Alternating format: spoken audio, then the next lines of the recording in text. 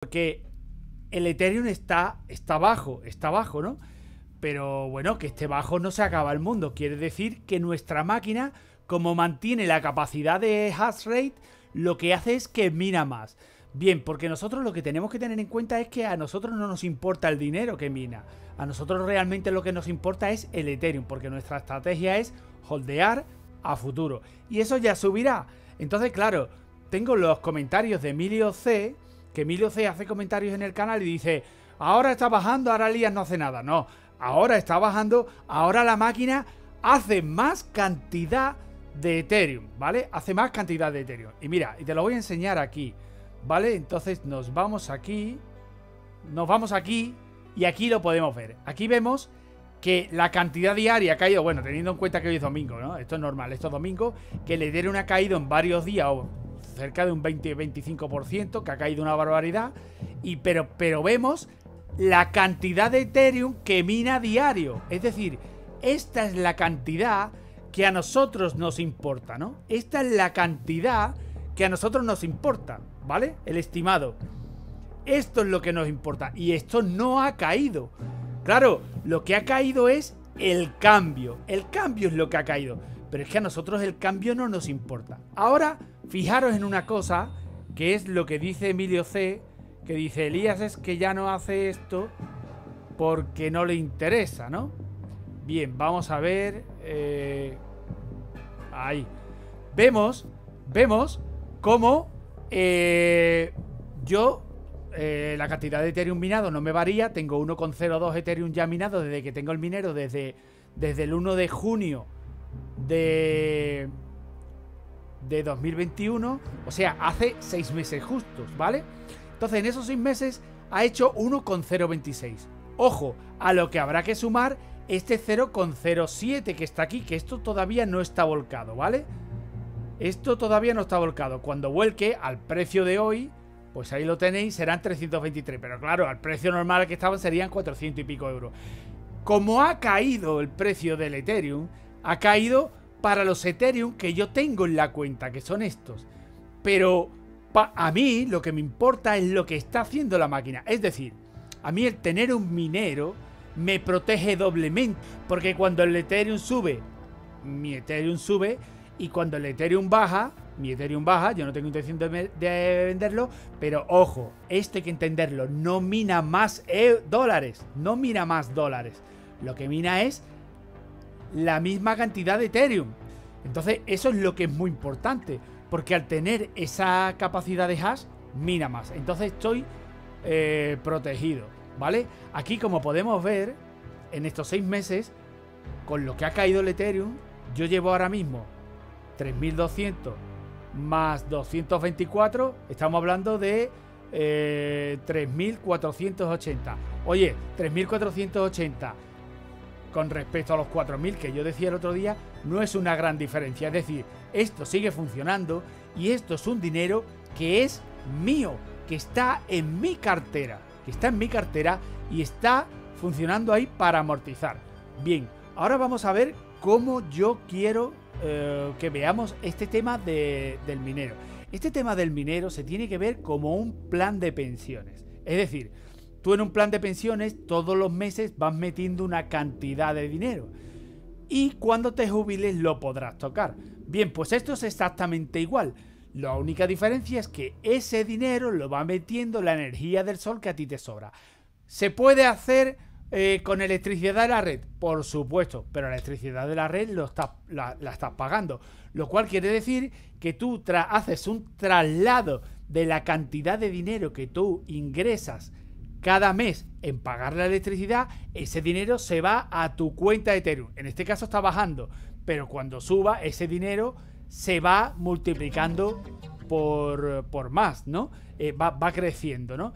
Entonces, los que tenemos sistema fotovoltaico, el excedente fotovoltaico, vamos, yo en, los seis meses que llevo con la planta fotovoltaica, la planta fotovoltaica me ha ahorrado aproximadamente unos 400 euros en electricidad, pero nada que ver con los 4.000 dólares que llevo hechos con el minero.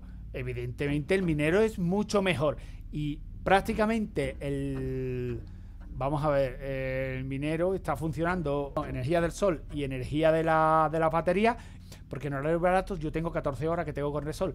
Entonces, la mitad, no sería la mitad, sería pues prácticamente un tercio, ¿no? Un tercio lo estoy pagando, pero prácticamente lo gordo realmente me está viniendo de la energía del sol, ¿vale? Me está viniendo de la energía del sol. Entonces, hay que verlo como un plan de pensiones. Es un plan de pensiones. Es un plan de pensiones donde yo voy echando mi excedente energético fotovoltaico ahí. Con otra diferencia importante. Cuando yo lo quiero tocar, lo toco sin más. Lo puedo tocar cuando yo quiera. Por ejemplo, os voy a poner un ejemplo. La táctica es de holdear. Pero claro, cuando Bitcoin ha empezado a bajar y se ha ido a, la base, a la base, ha tocado la base de la base de la subida, ha tocado los 41.000, yo he pensado, hostia, joder, pues yo ahora me voy a pasar a Bitcoin, he pasado una cantidad importante de Ethereum a Bitcoin, porque ahora Bitcoin lo más lógico y lo más normal será que pega un chupinazo, deje a las altcoins atrás y entonces cuando pegue el chupinazo y llegue a donde yo creo que va a llegar, cogeré y volveré, retornaré toda esa cantidad de, Bitcoin, la retornaré a Ethereum. Entonces le tocará subir a Ethereum, ¿vale? Esta estrategia es de cada uno. Cada uno tiene que establecer su estrategia. Es decir, yo he pensado, ¿me puedo equivocar o no me puedo equivocar? Mi estrategia es de holdear continuamente pero claro, cuando yo veo claramente que Ethereum ha cambiado, empieza a ir para abajo, oye, pues empieza a para abajo, empieza a para abajo, me cambio a Bitcoin, ahora Bitcoin tiene que pegar una subida fuerte, cuando haga esta subida fuerte, después detrás irán las altcoins. Así que en ese momento, cuando llegue a donde yo pienso que va a llegar, pues lo lógico será que, que me cambie. De nuevo, vuelva a cambiar prácticamente todo, porque era prácticamente todo lo que tenía Ethereum. Bien, pues eh, nada más, esto era todo lo que quería contaros, simplemente era un vídeo en el que os quería contar cómo había limpiado las tarjetas. Ojo con limpiar las tarjetas, las tarjetas hay que limpiarlas con talento, porque si nos cargamos una aspa, eh, se desbalancea, se desequilibra el rotor y, ya la tarjeta está rota. Entonces tenemos que hacerlo con talento. disparitos, disparitos con la con el aire comprimido, le vamos dando disparos, les vamos dando tiritos y vamos limpiando el radiador. Entonces, una vez que el radiador eh, eh, se queda limpio, claro, hemos conseguido que la tarjeta disipa más temperatura, eh, disipa calor, sin necesidad de meterle más potencia al ventilador. Entonces, al bajar la temperatura, en mi caso, subió la tasa de hash. Ya os digo que yo ni siquiera lo tenía habitualmente en, en 120 la, la 3090, sino que la tengo en 106, 110. Tampoco pasa nada, ¿eh? chispa. Pero claro, cuando ya bajo de 100, digo, bueno, pues ahora le voy a hacer la limpieza porque lo necesita. Claro, luego en verano, luego en verano prácticamente me da igual, porque yo con toda la energía que tengo en placa, pues el aire acondicionado, pues prácticamente no lo paro. Entonces, aunque, aunque el minero está pasando calor, no pasa calor en realidad porque el aire acondicionado literalmente no para. En fin, pues nada más chicos, esto era lo que, lo que os quería contar. Y nada, recordaros que eh, CryptoSolar sigue funcionando, que somos ya más de 100 en la granja, que estamos muy contentos, muy felices. Esto va vinto en popa, todo el mundo está ganando dinero y la tasa de amortización con la que yo contaba, que era un año, por ejemplo en el mío, eh, estaba siendo, estaba en torno a los 8 meses, con el precio del Ethereum, como ahora ha bajado, pues subimos. Pero subimos, pero seguimos sin superar el año de amortización. Entonces, esto funciona muy bien. Esto realmente funciona muy bien.